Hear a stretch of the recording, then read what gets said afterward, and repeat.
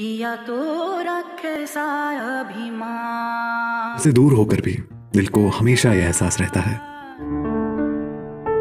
Bhushan jewellers अनमोल रिश्तों के लिए। ऊर्जा मंत्री सुखराम चौधरी ने कहा है कि प्रदेश में बिजली की दरों में की गई कटौती सरकार का एक ऐतिहासिक फैसला है जिसका प्रदेश में लाखों उपभोक्ताओं को लाभ मिलेगा। ऊर्जा मंत्री सुखराम चौधरी नाहन में आज पत्रकारों से बात कर रहे थे। ऊर्जा मंत्री ने कहा कि प्रदेश के ज़ीरो से 60 यूनिट बिजली की खपत करने वाले उपभोक्ताओं को बिजली के बिल का भुगतान नहीं करना होगा। इन उपभोक्ताओं को मीटर रेंट के साथ साथ सर्विस चार्ज भी नहीं देना होगा।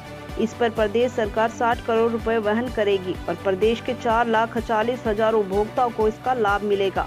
इसके अलावा इकसठ से 125 यूनिट खर्च करने वाले उपभोक्ताओं को 55 पैसे प्रति यूनिट छूट दी गई है, जिस पर प्रदेश सरकार 70 करोड़ खर्च कर प्रदेश के 7 लाख उपभोक्ताओं को लाभ पहुंचाएगी।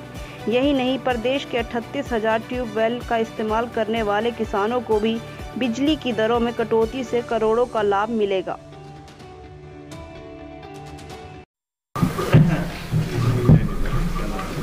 ये हमारे हितेश और सूरज जी आ रहे थे तो मैं कहा थोड़ी देर गपशप में ही दो, दो चार मिनट कोई नहीं। तब तक गप्पे मार लेते हैं अनऑफिशियली मार लेते हैं। तब तक अनऑफिशियली मान लेते हैं। अनऑफिशियल वाला ही छाप देना। ऑफिशियल वाला रह जाना दरअसल एक ही बारी बोलना बस।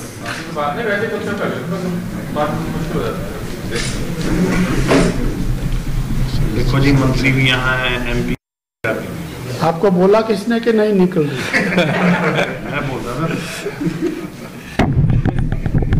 चुनाव आपके होते हुए ठंड कहाँ? है? ना हिमाचल प्रदेश में जब से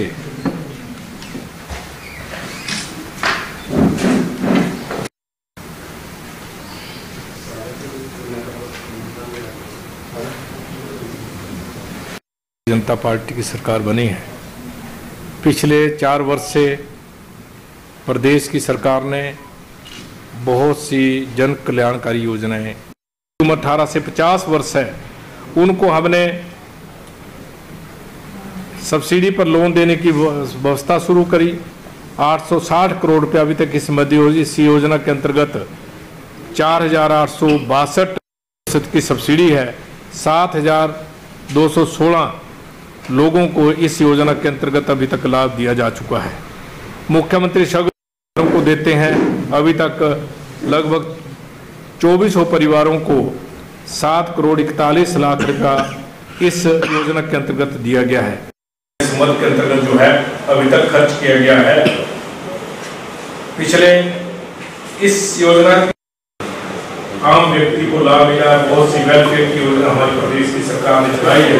प्रधानमंत्री आम व्यक्ति की सरकार, आम व्यक्ति की सरकार है। बहुत से लाभ आम व्यक्ति को इस सरकार ने दिए हैं। बहुत से लोगों को रोज़गार भी उपलब्ध करवाया गया। इसलिए और 25 जनवरी 2022 को जो ऐतिहासिक निर्णय हमारी सरकार ने लिए हैं, उसका आम व्यक्ति को लाभ मिलने वाला चौधरी साहब आपसे एक बात ये पूछते हैं आप ऊर्जा मंत्री हैं और